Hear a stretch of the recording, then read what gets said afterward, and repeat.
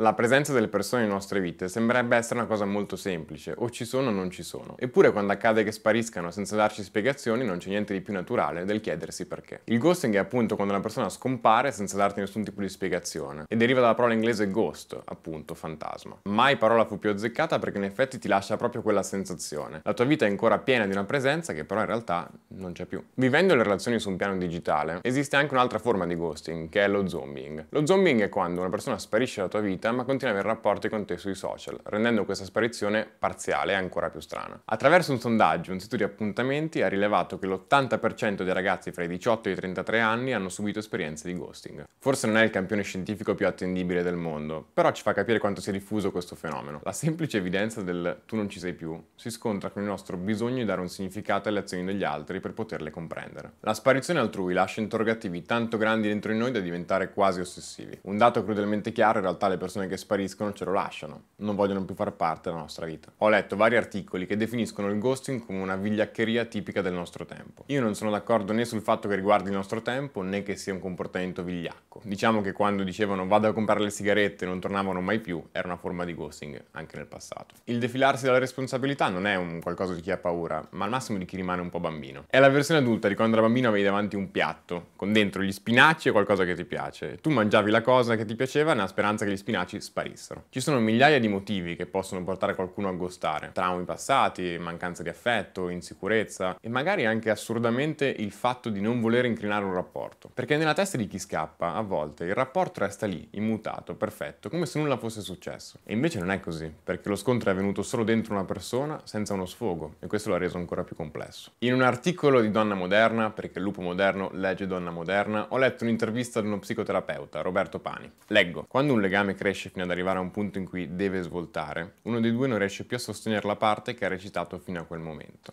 Non parliamo di prese in giro intenzionali, ma di comportamenti inconsapevoli. Il fuggitivo, quando deve fare sul serio, non riesce più a rispondere alle aspettative che lui stesso ha creato. E così, trovando difficile spiegare il proprio venir meno rispetto alle premesse iniziali, preferisce sparire, come un bambino che nega ciò che non gli piace. Come gli spinaci di cui parlavamo prima. Io ho vissuto entrambi i lati del fenomeno. A volte sono sparito e a volte ho subito la sparizione. Quando sono stato io a sparire, ho spesso innescato dei meccanismi di autodifesa abbastanza assurdi. È incredibile quanto ci si possa autoconvincere di alcune alcune verità quando sono più comode rispetto ad altre. Cioè, quando rifletti su come sei comportato, è molto difficile vedersi come uno stronzo. Di solito ti racconti un sacco di cose e magari invece vedersi come uno stronzo farebbe bene. Chi si allontana poi spesso sa che la cosa che sta facendo non è proprio giusta e quindi innesca il meccanismo di difesa successivo. Non pensarci proprio ed evitare di vedere la persona che ci metterebbe di fronte al problema. Una mia teoria nella vita, ma che si applica anche al ghosting, è la teoria delle orecchie a sventola. Mi spiego, è quando tu vedi una cosa in una persona che non avevi mai notato fino a quel momento momento e da quando la noti non c'è più modo di tornare indietro. Che ne so, che noti all'improvviso durante un romantico appuntamento che l'unghia del pollice è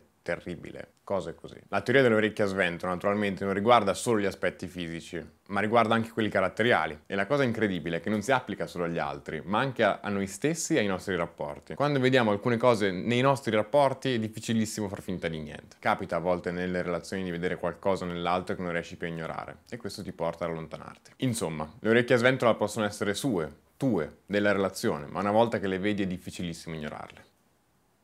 Io ho le orecchie a sventola, amici, amici di 20. Non sempre quando interrompiamo un rapporto facciamo del ghosting, però. Secondo me sono tre variabili che rendono il ghosting una cosa reale e molto dolorosa. Il tempo passato insieme, perché crea delle abitudini difficili da dimenticare dall'oggi al domani. Una progettualità condivisa, perché se fai dei piani di vita con una persona che poi sparisce, puoi sentirti un po' orfano di un compagno di viaggio. Ma soprattutto è lo strappo improvviso dell'intimità a lasciarci quella sensazione di essere stati ingannati dall'altra persona. E invece non è così, non ci hanno ingannati. È stato tutto reale, solo che a un certo punto loro hanno smesso di credere in un rapporto. E qui la sparo grossa. I rapporti sono come Dio. O ci credi o non ci credi. Se siamo quelli che subiscono la sparizione, non facciamoci più male del dovuto. Non chiamiamo, non inseguiamo, non cerchiamo spiegazioni che l'altro non ha voluto darci. Il silenzio diventa più doloroso ogni volta che lo si prova a spezzare. E non diciamoci che andava tutto bene, perché evidentemente non andava tutto bene. E se riusciamo non portiamo rancore. Non siamo stati ingannati, non ci hanno mentito, siamo stati solamente lasciati. Certo in un modo brusco, però è solamente una rottura. Non siamo sbagliati, non siamo colpevoli, non abbiamo fatto niente di male, abbiamo solo valutato diversamente un rapporto rapporto. Può capitare. Io la vedo così, l'affetto che provo non è un interruttore che posso accendere o spegnere, quindi passata l'incazzatura tendenzialmente torno a voler bene alla persona con cui sono stato. Conoscere e capire le persone a cui vogliamo bene, anche quando le loro decisioni ci fanno del male, è forse la cosa più bella che possiamo fare per loro. Naturalmente poi non siamo cyborg, è normale rimanerci male, ci mancherebbe altro. Facciamo passare il tempo riempendolo di cose, diciamo sì a tutto, e se ci va e abbiamo voglia facciamo sesso con altre persone, usciamo con altri, però senza farlo per ripicca o per dimostrare qualcosa. Anche perché il dolore che uno prova non è trasferibile agli altri, non è un modo per liberarsene, anzi al massimo li contagi e siete male in due. Non facciamo pagare a persone a caso le presunte colpe del nostro ex di turno e non stiamo lì a aspettare un ipotetico ritorno. L'importante è non restare immobili in attesa. Guardiamo molte serie tv. Io dopo la mia prima vera rottura ho visto tutto Lost, quattro stagioni di Game of Thrones. Sono stati i giorni più belli della mia vita. Sono arrivato a poter quantificare l'importanza di un rapporto in termini di quante serie devo vedere per dimenticarlo. Se siamo quelli che spariscono non facciamo più male del dovuto. Evitiamo di riavvicinarci a caso, di rimandare eternamente un incontro o di usare frasi autoassolutorie tipo sono fatto così. Una delle cose che avrei voluto dire a me stesso quando sono sparito è questa, ed è che non ti sei dato l'opportunità di essere capito. È vero, è stato comodo, ho evitato i litigi, le lacrime, però alla fine non ho dato all'altro l'occasione di capirmi, sono semplicemente sparito. Mi sono accontentato di essere spaventato dalle aspettative invece di parlarne, non tanto per salvare il rapporto, ma per capire un po' di più me stesso. Quando sparite o siete la persona che sparisce, le parole sono due, fragilità e inadeguatezza. Se siete la persona che subisce la sparizione, non colpevolizzatevi per una mancanza di maturità altrui. E se siete quello che invece scappa, cercate di capire il perché. Non perché sia la cosa giusta da fare, ma perché è una non gestione del problema. Il ghosting non risolve un problema, lo rimanda. Gli spinaci sono ancora lì nel piatto e non sono l'altra persona, sono i nostri limiti.